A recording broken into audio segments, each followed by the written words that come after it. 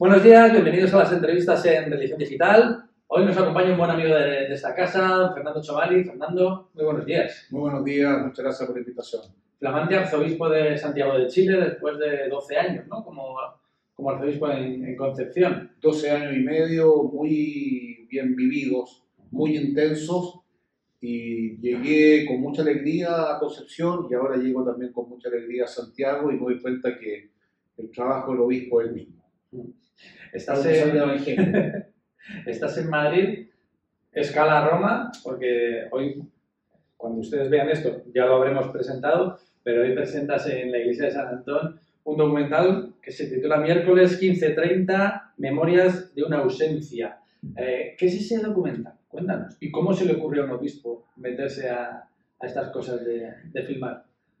Cuando llegué a, a Concepción me fueron a ver un grupo de mujeres, básicamente de familiares de detenidos desaparecidos durante la dictadura militar, y me pidieron si, si podían usar una sala del arzobispado para reunirse los miércoles a las 15.30 horas. Ajá. Yo les dije que por supuesto, que esa era su casa, y la fui conociendo, fui conociendo su historia, teníamos una misa una vez al año, y yo la acompañaba bastante y, y- empecé a conmoverme, a conmoverme de lo que vivieron.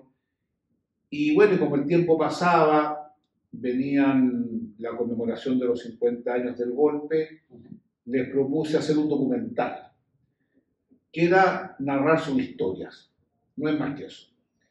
Y ella estaba muy contenta y colaboraron. Junté a un grupo de profesionales extraordinarios de la Universidad Católica de la Santísima Concepción y entramos en esta aventura de escuchar, de escuchar. Y nos fuimos dando cuenta el drama que seguían viviendo después de 50 años, que no habían encontrado a sus familiares, que los lloraban, querían dar una digna sepultura. Y nos encontramos también con un amor a la iglesia extraordinaria, de cómo la iglesia, los obispos de ese momento colaboraron para aliviarles el dolor. Y comenzamos a, a- trabajar, se hicieron todas las entrevistas y sale este documental que ha sido muy bien valorado en primer lugar porque narra historias de seres humanos concretos. Yo creo que nadie, nadie, independiente de la posición política que tenga, puede quedar indiferente al hecho de que tú estás en tu casa, te va a buscar un familiar y nunca más sabes de él durante 50 años. Estas mujeres han sufrido lo indecible, pero también han tenido una gran capacidad de seguir en esta eh, búsqueda. Este documental ha tenido un gran impacto en la sociedad chilena, lo hemos llevado a muchas partes, pero lo más notable es que lo hemos llevado a los jóvenes a colegios, jóvenes de 16, 17 años, y siempre iba alguien de estos familiares y, y- y los jóvenes quedan muy conmovidos. No es un documental que pretenda presentar una posición política, de ninguna manera, sino que pretende mostrar hasta dónde puede llegar la brutalidad del ser humano cuando hay un empecinamiento que va mucho más allá de lo que uno puede esperar de alguien que comparte la común humanidad. Hubo tortura, hubo desapariciones, juicios sumarios, y tal vez es una manera de decir nunca más. Y también, por otra parte, así como no quería ser sensacionalista, tampoco quería ser una propaganda a la iglesia. Creo que eso no se hace. Pero ellas mismas fueron empujando a que el documental tenía que tener ese reconocimiento y por eso que entrevistamos a Goich, que fue obispo auxiliar en Concepción, fue tremendamente consecuente, tremendamente valiente. Creo que la entrevista de él fue un acierto, sin lugar a duda, porque él muestra que a la hora de defender un ser humano, su postura política da lo mismo, que el ser humano merece respeto y en ese caso eso no se cumplió. Así que estoy contento, estuve en Australia con los chilenos exiliados, lo valoraron positivamente y ahora estoy acá en Madrid y eh, próximamente lo presento bajo el auspicio de la Embajada ante la Santa Sede en Roma. Este, este documental dura 40 minutos y creo que nos permite pensar qué país queremos construir. Pero además hay otra cosa.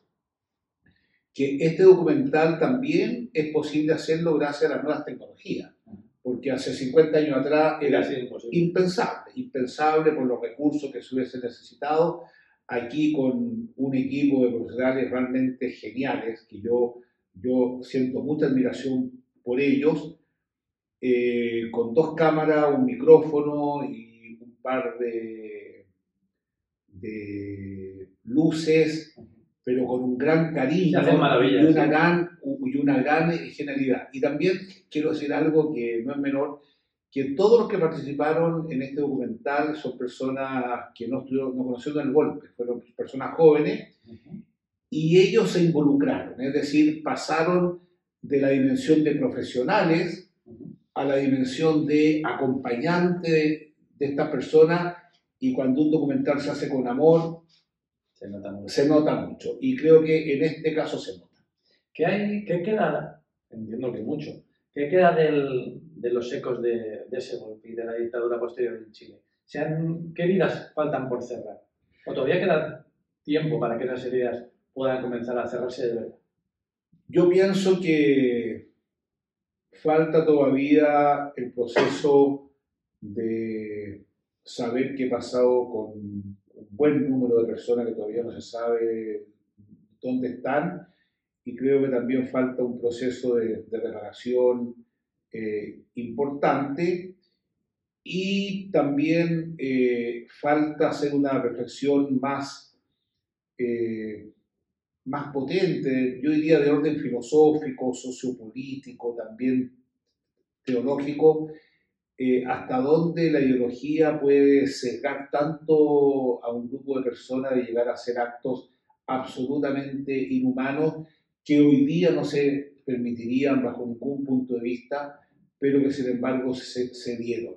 Y también eso interpela la educación en los colegios, interpela la, educación militar, interpela a toda la sociedad, interpela a toda la sociedad. El dolor no tiene apellido una madre que pierde a su hijo, a su marido, no tiene condición política, va mucho más allá y creo que reconocer que tenemos una común humanidad es un desafío que tenemos importante hoy día como sociedad. Decía que, son impensables, lo que pasa es que hoy estamos viviendo una situación a nivel mundial muy, muy complicada, donde sí es verdad que da la sensación que se, se repiten algunos errores y algunos horrores. Sí. Eh, no sé hasta qué punto quieres, quieres hablar del de, asunto, pero no sé, estamos viendo la guerra de Ucrania, estamos viendo la situación que se está viviendo en, en la Franja de Gaza, que sé que te toca horroroso especialmente. Eh, esa, guerra civil, esa guerra mundial a, pedacitos de la que habla el, Papa Francisco, y parece como que, y a, y a la par, eh, determinados procesos políticos en todo el mundo, en Latinoamérica, pero también en Europa, que están haciendo recordar historias que pretendíamos o que pensábamos que, que no íbamos a volver a vivir. Horroroso, horroroso, y lo más horroroso de todo que no son guerras entre pueblos, ¿ah? sino son guerras entre cónclaves de poder. ¿ah? Y pienso que hay que hacer esa distinción de manera muy clara en todas las guerras que estamos eh, viviendo hoy día y también una reflexión en torno a que pareciera ser que para muchas personas, el caso de Hamas, el caso de Israel, la vida no vale nada. Creo que ese es el punto de partida. Porque una madre llora a su hijo, sea quien sea, eh, los, eh, los organismos internacionales no significan absolutamente nada. Y lamentablemente también la palabra del pontífice, que es tremendamente respetado y querido también pareciera ser que son palabras que se la echan viento. Y aquí hay una reflexión que yo quiero hacer en torno a los mercaderes que diseñan, fabrican y venden armas. Qué terrible cuando hay un pueblo que está viendo destruir todos, toda su vida, que hay rehenes, que es una forma muy inhumana de, de mantener, digamos, un conflicto muy inhumana. Y cuando hay personas que, que ven cómo mueren los niños porque no tienen alimento, no tienen remedio, cuando depende de una persona que si deja entrar o no la ayuda eh, humanitaria, es terrible ver que hay otros que estarán en un gran festín viendo cómo crecen sus cuentas bancarias que se hacen ricos con la muerte donde de, la guerra de es, niños y con la muerte de eh, inocentes. con- donde la guerra es un, un negocio, me parece que habla muy mal de la sociedad y creo que en eso tenemos que repensar seriamente el mundo que estamos construyendo. Yo soy un convencido que la violencia lo único que hace es engendrar más violencia y creo que tenemos que volver a lo que decía al principio, reconocer nuestra común humanidad, nuestra común humanidad. Y pienso que esos esfuerzos hay que hacerlos, es posible y eso empieza desde la casa, desde la más tierna eh, infancia. A mí me parece muy terrible que hay jóvenes, tanto de, de Hamas como de, de Israel, que lo más probable no tienen idea qué están haciendo ahí. ¿ah? Fueron llevados y mientras los que promueven esta guerra están muy protegidos en búnkers, seguramente no les faltará nada y creo que eso nos tiene que interpelar, eh, interpelar mucho. A mí me duele mucho lo que pasa con el pueblo palestino, en concreto el pueblo, el pueblo de Gaza, porque creo que ese no es el sentir de la gran población que quiere construir un futuro como lo ha pedido el Santo Padre, como lo han pedido los organismos internacionales, como lo está pidiendo Estados Unidos, que son dos estados independientes que puedan desarrollarse eh, en conjunto pensando en el futuro. Pero pareciera ser que el empe- empecinamiento que hay no va a ir por, por ese camino, lo cual exige más presencia, más oración para los creyentes. Es un drama. Y lo de Ucrania pasa lo mismo, y en tantos otros países donde hay mucha guerra. De las que eh, no hablamos, Día a día. pero los que muertos existen. No se hablen están, sí. Causa pudor eso de lo que está sucediendo en, en Tierra Santa, justo en el lugar donde, donde vivió, murió, resucitó Así es. y donde de alguna manera sal- salió hacia el mundo un mensaje radicalmente distinto al de las guerras, que es el del Evangelio. Así es. ¿Qué papel tienen las, los hombres y mujeres del Evangelio, hombres y mujeres, los seguidores de Jesús y todas las personas de bien para acabar con esa espiral de, odio y violencia, que luego tiene traducciones en, el mundo político, en corrupción, que en el fondo es una lucha, es una cuestión también de poder y de, pisar al, al otro para mantenerte tú?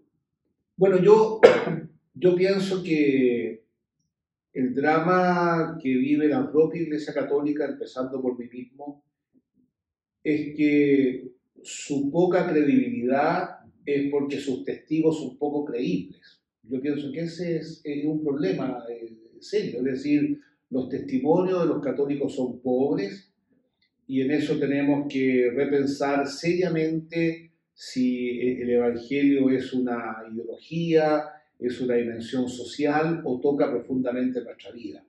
Es impensable cómo tantas personas que se declaran creyentes, católicas, seguidores de Jesucristo, están involucrados en hechos de corrupción. Eso, es- eso remueve el alma, no protegen la familia, no protegen la, la vida, son indiferentes frente a la pobreza.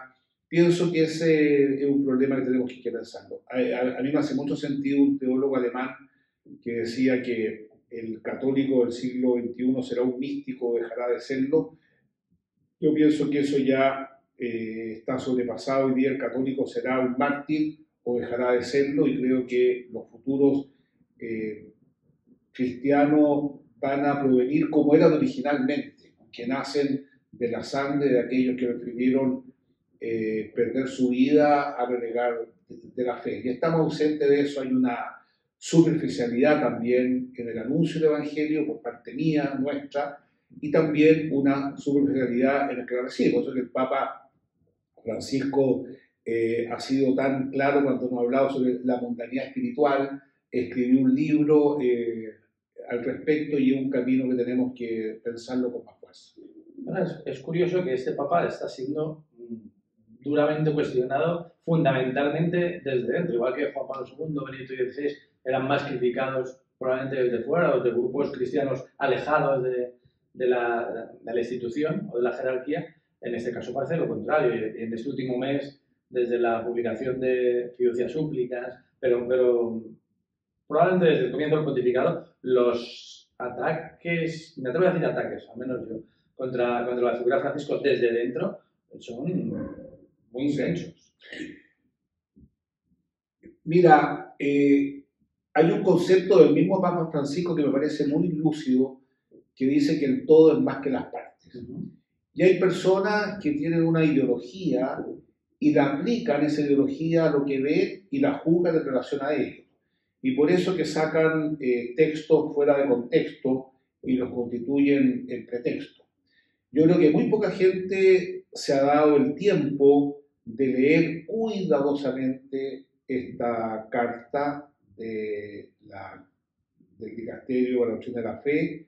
Se ha dedicado poco tiempo eh, a, leer los comentarios eh, posteriores y lo único que hace es decir, oye, las personas divorciadas, separadas, vueltas a casar, las personas con tendencia homosexual, existen, están ahí, tienen un sentimiento religioso, es decir, la situación en la cual viven no les anula el sentimiento religioso, incluso muchas veces lo acrecienta justamente por este dolor que perciben, que viven, y esas personas las tenemos que acompañar y les tenemos que desear el bien. Ignorarlas es poco cristiano. E ignorarlas no significa cohonestar lo que hacen. No significa cohonestar lo que hacen. Reconocerlas no significa cohonestar lo que hacen. Significa solamente emprender un camino de acompañamiento. Hay personas que están en la cárcel, que han cometido delitos horrorosos y nadie juzga a la madre que va a ver a sus hijos, que les hace un regalo, que los abraza, que sufre con ellos. Y esa madre tiene clara conciencia cuál es la, situación en la cual, eh, en la cual vive eh, el hijo.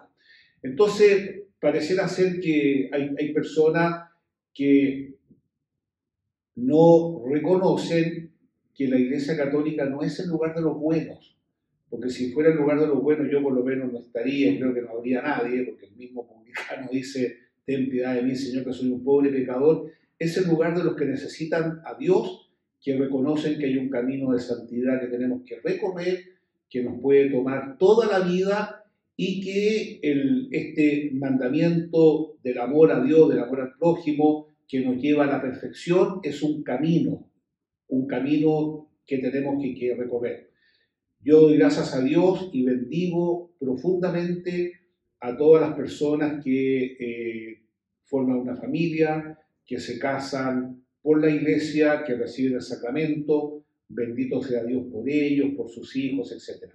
Pero eso no siempre acontece en la realidad y no reconocer eso sería no reconocer a seres humanos que muchas veces viven sus propios dramas y que la iglesia los acompaña, está siempre como eso. ¿Cómo ve el Papa? Le va a ver ahora en, Roma, pero no sé si ha tenido ocasión. En febrero tengo la reunión de la Academia por la Vida, Pontificia, ahí lo, ahí lo voy a ver. Bueno, el Papa es una persona de convicciones, evidentemente. Él no quiere un, un catolicismo de, de apariencias. ¿ah? Yo diría que es un hombre profundamente eclesial, y muy poco eclesiástico. ¿ah?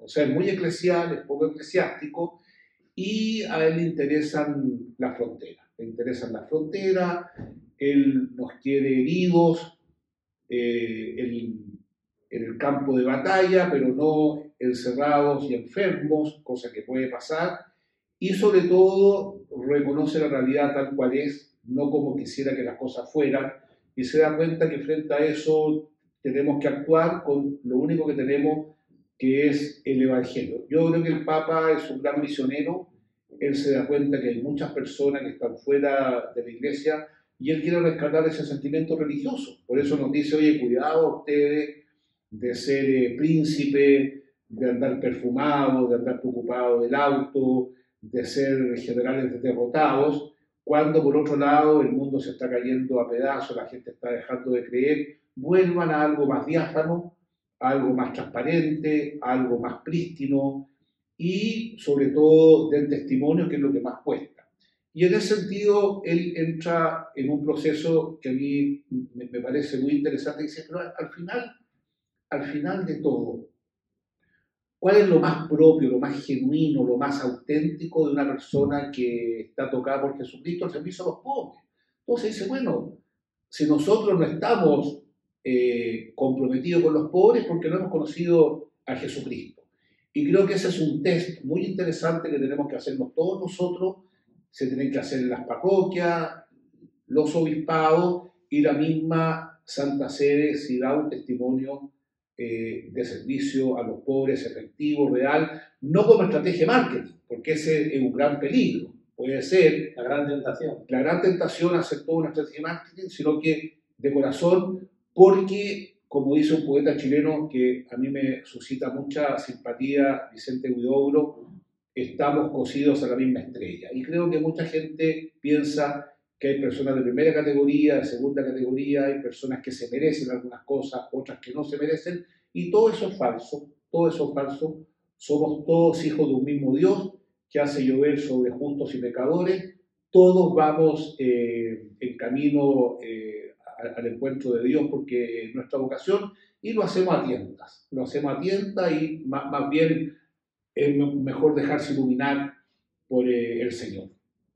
Vamos a hablar brevemente de Chile, no lo quiero robar mucho más, mucho más tiempo. Eh, acaba de entrar, después de 12 años, lo comentábamos antes, en 12 años y medio, en Concepción, a Santiago de Chile. Eh, una iglesia que conoce, porque eh, se ordenó allá y fue, creo que fue auxiliar también. En... Sí, yo estudié en el Seminario Pontificio Mayor.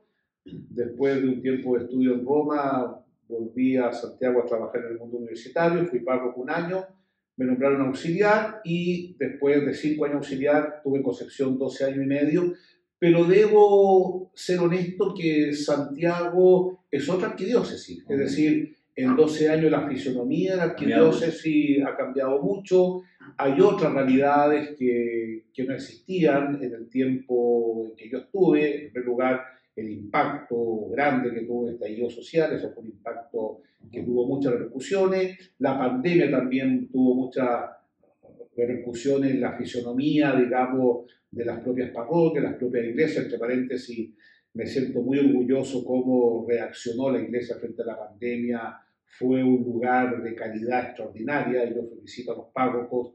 Prácticamente en todo Chile estaban muy comprometidos. Y también con otra realidad social que tiene que ver con un flujo migratorio muy importante, muy concentrado en Santiago, que la sociedad chilena, los propios gobiernos, todos los gobiernos no han tenido la capacidad de eh, acoger adecuadamente, lo cual ha traído serios problemas de hacinamiento, serios problemas de campamento, a la crisis habitacional que se, que se lleva en Chile hace muchos años, se acrecentó, justamente con la presencia de estos hermanos eh, migrantes y todo lo que lleva eh, aparejado, o sea, abusos respecto de ellos. Hay muchas personas que, que los tratan, digamos, en malas condiciones, muchos de ellos están sin papel alguno. Son, es lo que pasa en, en la grande urbe y evidentemente yo tengo un compromiso respecto de ellos porque justamente son las personas más, eh, más necesitadas, más desprovistas. También hay otro fenómeno que, es muy importante reconocer, que el, el, eh, el, cambio demográfico en Chile ha sido muy, muy fuerte. Hoy día tenemos eh, una, una natalidad de 1,2 niños por mujer fértil y tenemos una esperanza de vida que bordea los 80, 82 años. Por lo tanto, hay una cantidad de adultos mayores, de ancianos que están solos, abandonados, solos, abandonados. Tanta gente que me escribe buscando un lugar, la familia no tiene ninguna capacidad de recibirlo y acogerlo como corresponde en su casa. Ese es un drama terrible que padecen muchas mejores, muchas eh, familias. Ya aparecen estos lugares clandestinos, donde se entera la sociedad lo que pasa porque hay un incendio, porque hay un asesinato, es decir, hay un contexto distinto y lo otro que la cara de la delincuencia eh, ha, cambiado mucho en el sentido que ahora hay mucha más violencia, indudablemente la tasa de asesinato ha crecido sin duda alguna y lo que es más grave, eh, la edad de las personas involucradas es cada vez más joven. Es decir, hay un contexto social más complejo. Y desde el punto de vista social, tal vez una experiencia de gran soledad de los jóvenes. Creo que hoy día Chile es un país que económicamente ha crecido mucho en poco tiempo, hay mucha inversión hasta el día de hoy, pero hay un sentimiento de soledad de los jóvenes que tenemos que eh, atenderlo muy bien, comprender el fenómeno, porque el mejor, la mejor herencia de los padres de la sociedad es dejarle a los niños buenos recuerdos y los niños no están teniendo buenos recuerdos ni en sus casas, ni en sus barrios, ni en sus colegios y sacar toda una generación con muchas eh, heridas internas creo que puede ser muy complejo pensando en el futuro. Y también lo otro que yo lamento mucho, que una sociedad tan marcada por lo económico ha ido dejando de lado aspectos fundamentales de la vida como es la cultura. Eh, prácticamente no tenemos alumnos estudiando filosofía, teología, ciencias duras. Está más bien todo volcado a, una, a un infantilismo, diría yo, que los grandes problemas sociales nos van a provenir de la medicina, de la sociología, de la psicología, en definitiva, de la ciencia, cuando hay otra dimensión en la vida humana que es la espiritual, que me parece que es cada día más fundamental y que cada vez la necesitamos más. Por eso que cuando comentábamos en la reunión que tuvimos antes, qué esperaba yo de este tiempo que me toca como arzobispo de Santiago, que la iglesia tenga un discurso significativo. ¿Y qué significa un discurso significativo? Que las personas tengan una mirada significativa de sus propias vidas. Y creo que esa mirada significativa de la propia vida es impensable fuera de Jesucristo. Impensable. Es decir, no hay nadie en el mundo que pueda condensar eh, lo que significa ser un ser humano y la orientación decidida que le da eh, a su vida. Por lo tanto, eso va a ser lo, lo mío, predicar a Jesucristo a tiempo y a destiempo, y sobre todo ir a las periferias de tantas personas que no lo conocen, que no han escuchado de él y que deambulan. O sea, un país donde hay un significado, significante aumento de la violencia, del consumo de droga, de alcohol, de buscar siempre nuevas experiencias, porque hay un vacío espiritual muy profundo que tenemos que eh, suplirlo con lo único que tenemos que es la palabra de Dios y la verdad de Jesucristo. Yo no veo que haya eh, otro camino. Las cosas siempre al ser humano lo van a dejar insatisfecho. Las cosas, no hay una afinidad con las cosas. Las, las cosas son, fines, son instrumentos muy importantes y ojalá que todo el mundo tenga lo suficiente para vivir, pero no logran captar lo más profundo que hay en el corazón humano, que es tener la experiencia del amor, tener la experiencia de un trabajo relevante para el servicio eh, a los demás y creo que estamos lejos de eso. Fernando Chamali, arzobispo de Santiago de Chile, bloguero y amigo de, de Religión Digital. Muchísimas gracias, mucha suerte en la presentación de hoy y en este camino que, que emprendes como, como prelado de la principal diócesis chilena y con la mirada puesta hacia, hacia los demás, que es lo más importante. Sí, yo espero que, que, la comunidad me ayude. Yo siempre le he dicho a los sacerdotes, a los laicos que, que me dicen que le vaya bien. Yo digo, no, que nos vaya, Que nos bien. vaya bien. Que nos vaya bien porque la iglesia es un cuerpo, el cuerpo de Cristo, y si cada uno pone los carismas, los dones, los, los, todo lo que Dios nos ha regalado, sin lugar a duda que vamos a poder ser una iglesia que evangeliza y que sirve. Gracias. Jugar a, a Dios y a la Iglesia en primera persona del plural. Claro, nosotros que es tan sí. la Iglesia Así es. Muchísimas gracias, don Fernando. Y a ustedes, pues, le esperamos en nuevas ediciones de las entrevistas en Religión Digital. Muy buenos días.